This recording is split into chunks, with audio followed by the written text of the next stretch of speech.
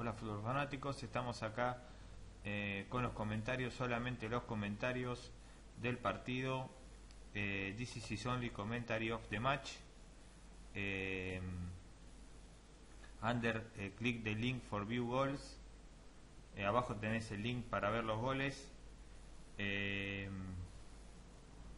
Con que en el National eh, Arena el Estadio de Bucarest perdió de local contra eh, el Dinamo de Kiev y se quedó sin sin la segunda fase. El Dinamo de Kiev y el Albor pasaron a la segunda fase así que el Dinamo de Bucarest perdió de local eh, contra el Dinamo como digo con goles de Yarmolenko y Lenz. Se quedó afuera de la segunda parte eh, de la Copa de la Liga de Europa. Bucaresti, el Estado de Bucarest eh, alistó a Arlauskis Varela, eh, Suscala, Philip, reemplazado por Lato Blevisi, Pap, eh, San Martín, eh, Bursenú, reemplazado por Rusescu, Prepelita, Tanase, reemplazado por Popá, eh, Chipchuk eh, y Caserú. El equipo de Dinamo de Kiev fue con Shotkovsky, Dragovic, Kacheridi, Burda, Gusev, Veranda, reemplazado por Yulaski, Rivalka, Veloso, reemplazado por Sidorchuk, Lenz, autor de un gol, Yarmolenko, autor del otro gol, Kravets, que fue reemplazado por Moukani.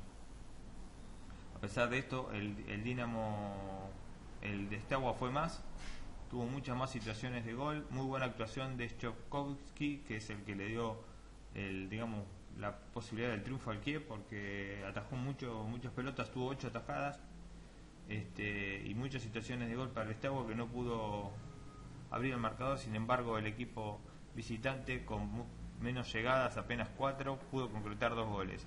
A los 71 minutos Yarmolenko a pase de Sidorchuk, que la defensa quedó jugó muy en línea y de derecha eh, batió al arquero del Estiagua y a los 90 minutos más 4, o sea, ya prácticamente definido el partido, un pase filtrado, el arquero salió, lo agarró a mitad de camino, prácticamente en tres cuartos de cancha, y el número 7 desde lejos, estaba todo jugado, el jugador Lenz, eh, todo jugado en ataque del Estiagua, le da el 2 a 0 definitivo al equipo de Kiev, que se alzó con la victoria y la clasificación con 12 puntos en el